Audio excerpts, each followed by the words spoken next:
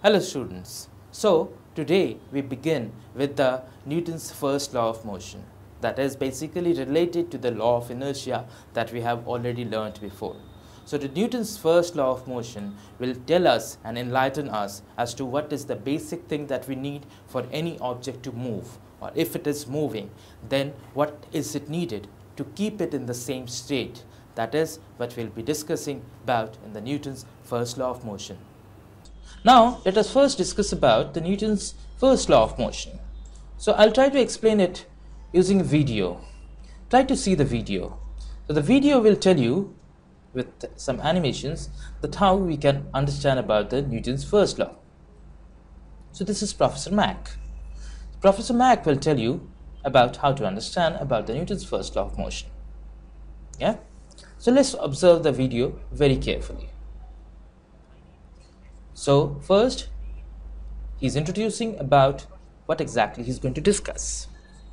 So here is Professor here. Now let's move forward from here.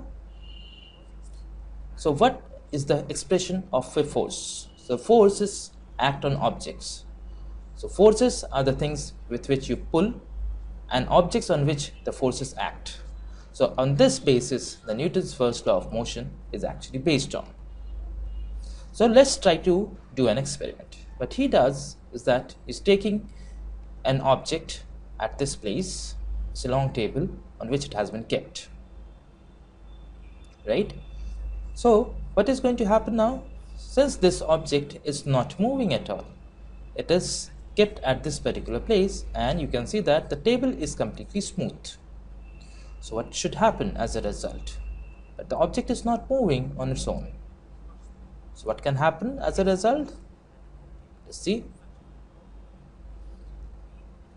The object will have definitely some amount of mass. Therefore, there is going to be some weight as well. But the object is not falling downwards. There should be some balancing force acting as well. Now let's try to observe the object very carefully. What do we see? We see that the object does not move on its own.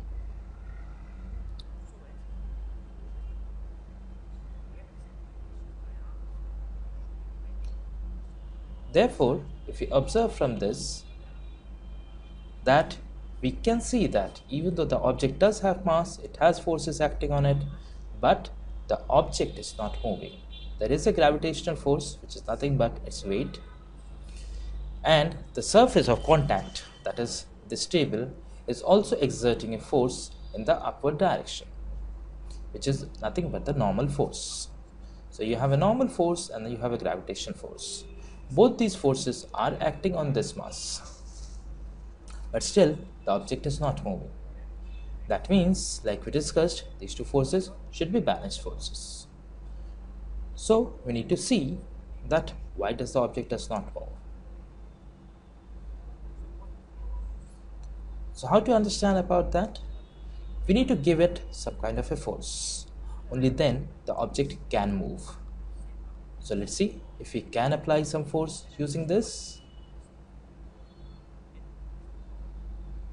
So if we do apply some force using this then the object may move. So as we see this applied this force. This surface being smooth the object has started moving. And it will continue to move because we have a very very long table out here. We can see that the surface being smooth the object continues to move the object does not stop at all. Since it continues to move, it will continue to move unless you apply an external force. So what happened as a result? We applied the force, this applied the force here, even though the gravitational force and the normal force were acting, but the piston applied this force on this mass. That resulted into the mass moving in the forward direction. So this is an unbalanced force only under the existence of this unbalanced force did this object move. And here you can see that this is, these are all the forces. So that was the free body diagram. Now that force only acted for a small instant of time. There are no other forces that are acting. These two are balanced forces. That's the reason. Since no other force is acting, the body will continue to move at a uniform rate. This is what is known as an uniform motion. Here, the object will continue to move at a uniform rate without there being any hindrance as we assume that this surface is completely smooth. So you may say that there are forces acting on this object but still it is moving at a constant rate. The reason being the forces that are acting are not acting along the direction of the force, direction of motion. That is the reason this object will continue to move because there is no net force acting along the direction of motion. So this tells us about the Newton's first law of motion. What does it say? That even though that you have these two forces, since these two forces are not resulting into motion, only one force resulted into the change in state of the object. So this is what is meant by the Newton's first law of motion. So if you want, I can explain it again. So as you can see, the object is moving under the existence of a of no force. Since the surface being smooth, the object will continue to move on its own unless you apply an external force to stop it. Mind you, it should be an external force. So what did we learn here? We learned about the Newton's first law of motion. So what does it say? So every object persists in a state of rest or uniform motion in a straight line unless it is compelled to change that state by forces that act on it. So these objects will move only when there is an external force that acts on it. So the first law deals with the inertia of motion of the body. So a body which is at rest will remain at rest unless you apply an external force on it. So this is the inertia of rest that we had discussed.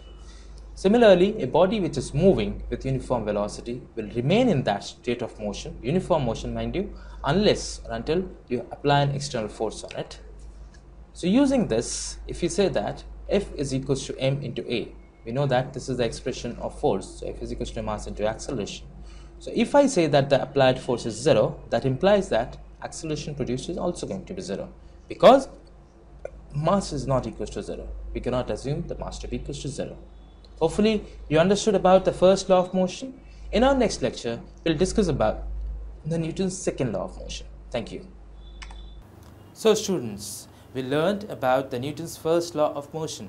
That is, when there is no external force acting on an object, in that case the object will continue to be in its own state. Only when you will have an external force, only then the object state is going to be changed. So that we'll learn in my next topic, that is the Newton's second law of motion. So stay tuned.